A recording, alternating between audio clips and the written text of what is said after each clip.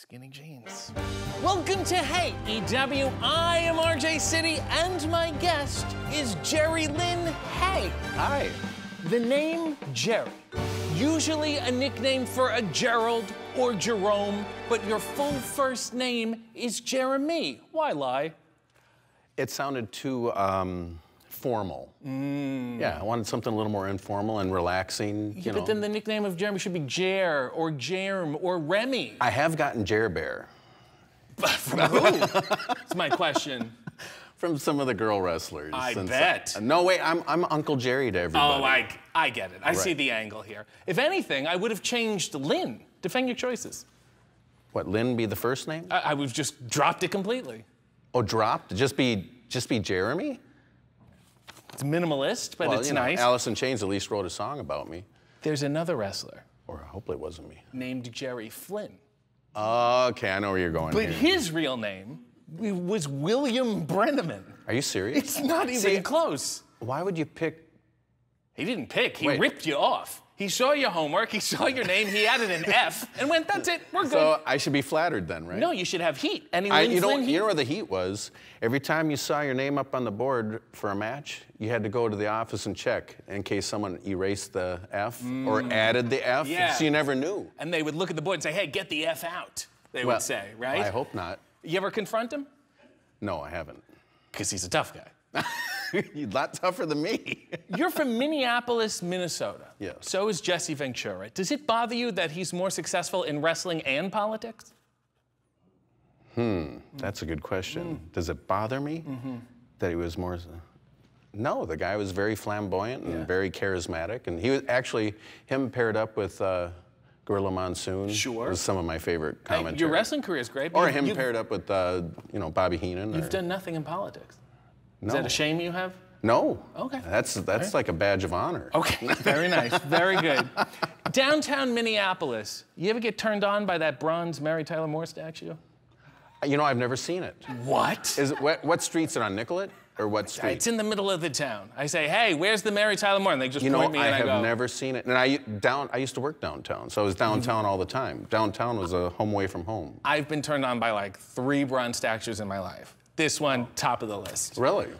Oh my. Was the other one the Rocky one in Philly? No. No? You You haven't you haven't been to that one? No, there's a Kate Smith one I have to show you, and you're gonna love it. I better. You started wrestling in March 1988. Yes. Four months later, I was born. What was the world like?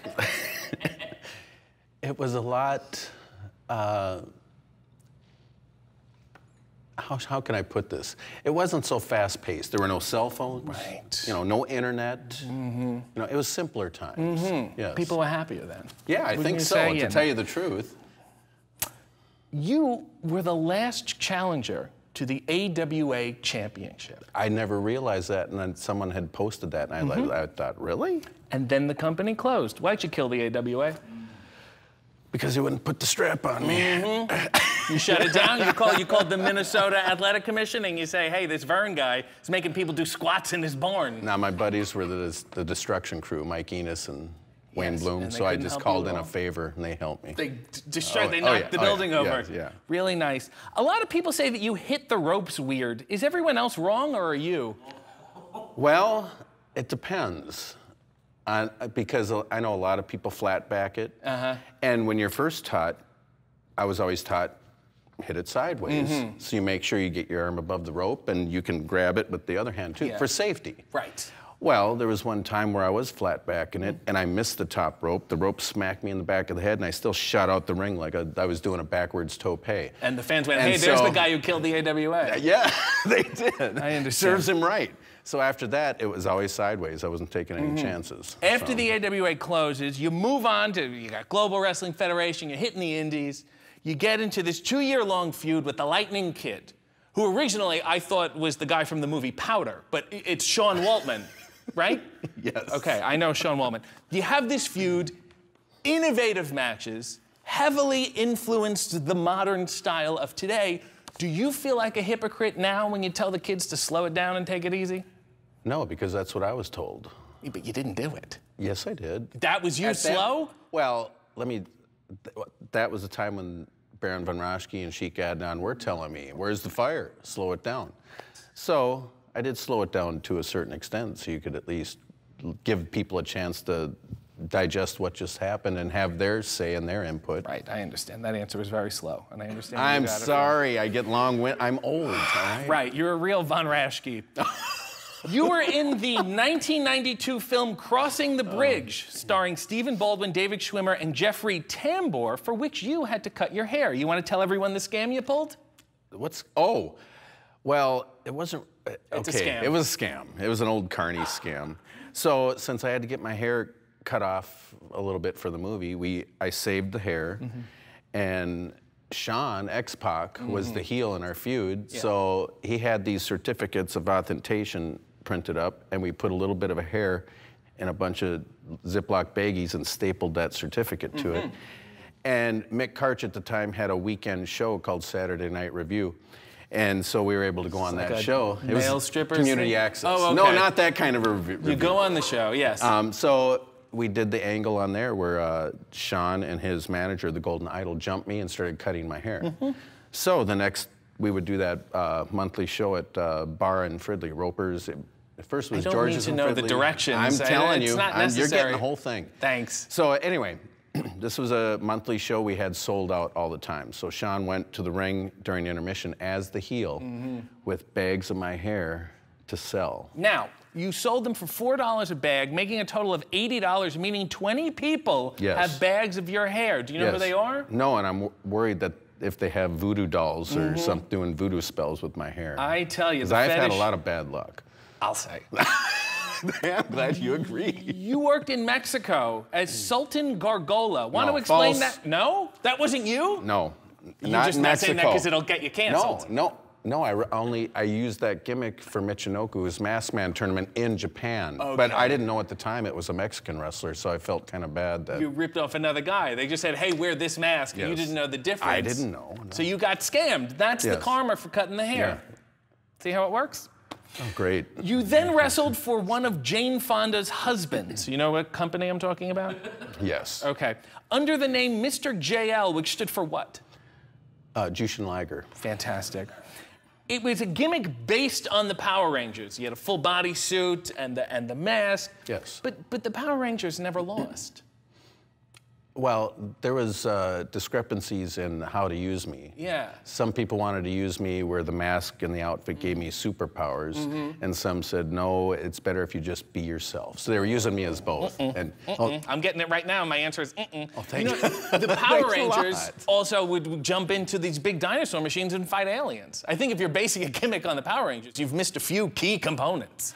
Well, it was supposed not supposed to be a blatant ripoff of Mm-hmm. Power Rangers. It was supposed to be like part Power Rangers, part alien-like. Well, it, it should have been a blatant ripoff, and it gets so much worse. I In a couldn't do- 1995 match with Dean Malenko on TNT, you break your arm and audibly yell yeah.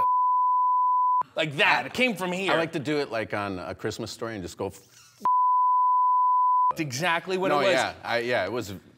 I couldn't help it. It was just a natural reaction. The Warner people watch this show. You want to apologize? I'm sorry that I said the Effenheimer live on a Monday Nitro. Thank you. Is that okay? Yes. Uh, no, you can't say Monday Nitro. Do you Oh. have any heat with Dean? No, not at all. Really? No. Because you know who his father trained? Sean, No. X Pac. Jerry Flynn. Are you serious? Yeah. Okay, now there's heat. Uh-huh. Now exactly. there's heat. Right. Exactly. Very well done. Then you worked for a hey man, an extreme Ew. hey man. Ew. You, you know who I'm talking about? Yes, I know. Okay, Ew. good, good, good. You No, got into this feud with RVD. Big feud. People loved it. He's here sometimes. We see him in the hall, do you do your old standoff? Do you go, ah, like that? No, you know what? I might next time I see him. I think it would be great. He was Except the whole. he kicks fast, and I'm slow now, so he might just instinctively go whop, and I, I'm done. he was the whole effing show. Yes. Then you changed your name to the new no, effing show. I didn't change it. It, it was given to you? Yes, it was uh, in Asbury Park Uh huh. during our pay-per-view match, our. Yes. first pay-per-view match. And after a sequence of moves, I was getting ready to climb the corner, and a whole section of the building started chanting "New effing show." Because they saw Lorne Michaels, the new show. When he left Saturday Night Live in 1984 and one of his few televised failures. Do I have to thank Lauren too? I think so. Okay, thank you, Lauren. Great, great. In 2000, you beat Steve Corino so badly that you dipped your hands into the blood on his face, wiped it on your face, and then on your stomach wrote die. Well, I just wanted to let the fans and Steve know that I meant business. It's a little much, don't you think? No, not. Turned No, into listen. like performance art. This is like Well- the Guggenheim all of a sudden. You're a I- regular Marina Abramovic. Do you understand what I'm saying? when I was coming up with the idea, I was sitting in a bar with a friend of mine who was a fan and he was in a death metal band, and I told him about doing the war paint. He's, he's the one who first said, That's not good enough. This is ECW. This is extreme. And so I had to take, you know, kick it up a notch. What I don't understand is where you hit a blood capsule that big. During your promos, you would incorporate death metal vocals. Yes. Right? Can, Yeah. can you give everybody an example? It's been a while. I, I got to warm up and tune up. You know? You would be, oh, I'm gonna beat you. Like you go like that, right? You're pretty good. Thank you. Not only has that genre never been mainstream, but didn't you risk the long-term health of your vocal cords? Probably. Mm-hmm. Actually, I wasn't too worried because after all the concerts I've been to throughout the years, I'm surprised I'm not deaf anymore. Still, you know. Wouldn't it have been better if you picked another genre to work into your promos? Maybe a, like a, a doo-wop? You're gonna die. You are gonna die. Wouldn't that have been so That was nicer? done already. The Spirit Squad. They could have been a perfect duo. You, you just have a list of names that you're gonna drop that we're gonna have to cut out of this completely? Do you Uh, know what company we're working for? Check your past, man. Former nice person Lance Storm said, and I quote, that you are an Academy Award winning supporting actor, one of the greatest actors of our time who was just never cast in that lead role, which is interesting because, and I mean this in the best way, you look like Richard Dreyfuss. I don't, and I'm not saying bad Richard Dreyfuss. I'm saying healthy, mean- young, happy Richard. Oh. Richard Dreyfuss wishes he could look like you now. The, and I don't like the panties on the. Is that that one? really that nice. Richard Dreyfuss? Yes, yes, yes, yes. And he won an Oscar for The Goodbye Girl. So maybe Lance Storm should just go see more movies. So, well, that's a real compliment then. Yeah. Oh, yeah, I guess it is. Sorry. Dave Meltzer described you as one of the most underrated workers of the last quarter century, and he was the one rating you, so he did it on purpose. But that's just his personal opinion. It's Yes. not like. Uh, now, I think it would have a lot more meaning if someone like Harley Race or Bobby Heenan or Mm. yes. someone like and that. they would have said that's the Ric guy who Flair. killed the AWA. Oh God. You There's no winning with you. You retired 25 years to the day that you started. When are you going to ruin it with a return match? I, I don't think I can. Come on, let's just throw it all away, like they always What do. What do you think that return match should be? I've had several people ask me. I'll tell you. In 2022, on Dynamite, Chris Jericho gave you a tombstone pile driver on the stage. Yeah. You get home the next day, your wife says what? Uh, why? Yeah, yeah. So- and then she puts on her copy of Crossing the Bridge and just goes to sleep. Well, after the first five five minutes, I think That's part when the, the scene was in. Yeah. that's nice. And I got beat up by Jason Gedrick. Wow, Yes. that's interesting. Off, Yeah. Offset. You are now often a judge for the Ring of Honor Pure Championship matches. Uh, What, what are you writing on that piece of paper? You just doodling and then you pick who you like? Well, it depends if fans are close enough to see my paper. Right, and then you go, nice hammerlock. And That routine? sometimes, you know, I'll look over at Dean's or something and I see a grocery list being written out. Right. So you never And know. Dean's writing, I miss Jerry Flynn. You are also on the Ring of Honor Board of Directors. What's the secret to booking a banger?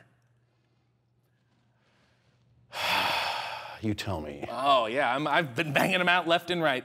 I'm gonna list some people. Tell me who in Ring of Honor you'd like to see them face. Okay. Okay? All right. Keenen Ivory Wayans. Ooh. I'd like to see him face Toa from Gates of Agony. Very nice. Damon Wayans. Well, we got to put him in there with Kaun then. Excellent. Uh, Shawn and Marlon Wayans. That'd be a tag. Um, oh, um, the embassy. Really nice. And finally, Kim Wayans. Oh, Let's see. Athena. Wow, very nice. Well, this has been a mosh. And you know what? For, for fabricated nostalgia's sake, Let's do a little death metal vocals, but instead of insulting each other, let's let's spin it. Let's compliment each other. All right. Okay. Uh, thank you for coming on the show. Your show is very fabulous. You look like Richard Dreyfuss. let's do that. One, two, three. Death metal. Richard Dreyfuss. One, two, three. Richard Dreyfuss. That'll trend very well. I don't know how you did it.